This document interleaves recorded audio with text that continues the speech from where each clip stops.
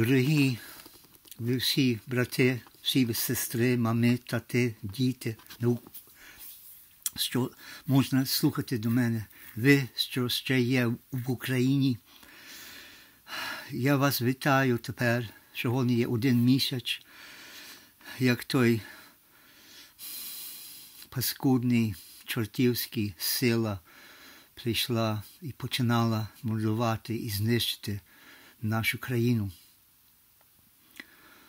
My dear brothers and sisters, all of you in Ukraine, it's now a month today since that evil, dark power invaded our peaceful country and began to murder our people and destroy our cities.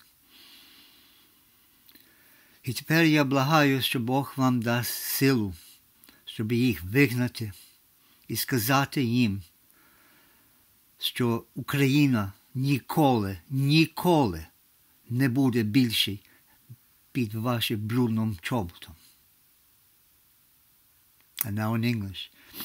May God give you people in Ukraine the strength to fight back and beat back these evil invaders, these evil Russians who have, who have menaced and destroyed our country for 400 years, our people. And may the Ukrainian people say to them, to these very, very nasty monsters, that Ukraine will never, never be under your dirty boots again. And here I'm going to play another hymn, a Ukrainian hymn, that is sung in our churches to God to give us strength and power. Я буду тепер грати інакший український гімн, що ми співаємо у нашій церкві.